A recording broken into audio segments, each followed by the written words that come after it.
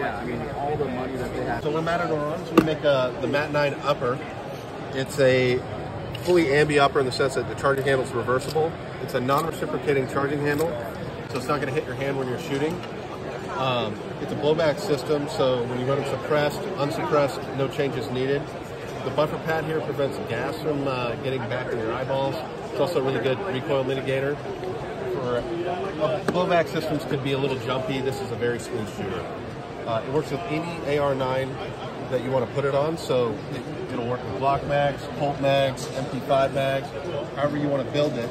You start there, and it retails for 550 and it looks good. yeah. it does look good.